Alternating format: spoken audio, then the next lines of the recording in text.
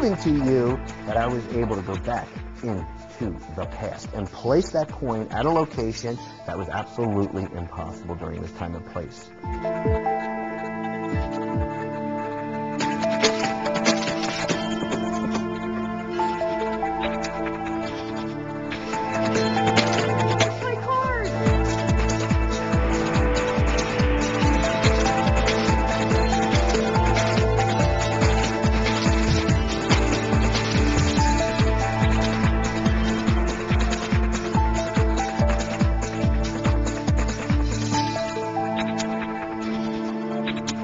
Now the invisible thread is coming from that handle all the way to my watch.